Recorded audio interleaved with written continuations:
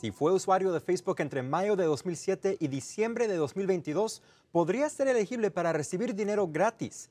Esto tras una demanda colectiva que alega que Facebook permitió a terceras partes el acceso a información privada de unos 87 millones de usuarios de dicha plataforma. Meta, la empresa matriz de Facebook, ha negado responsabilidad o irregularidades en su red, pero aún así tendrá que pagar una multa de 725 millones de dólares y usted podría obtener una cantidad de dicho dinero. Si es estadounidense y utilizó la red social en los Estados Unidos, puede completar un reclamo en el sitio web facebookuserprivacysettlement.com. El formulario contiene preguntas como su nombre de usuario en Facebook, las fechas en las que estuvo activo en la plataforma, al igual que el servicio de pago que prefiere para recibir su dinero. Por ejemplo, PayPal, Venmo o una tarjeta Mastercard prepagada. El formulario solamente toma unos minutos para completar y la fecha límite para llenar el reclamo es el 25 de agosto de este año.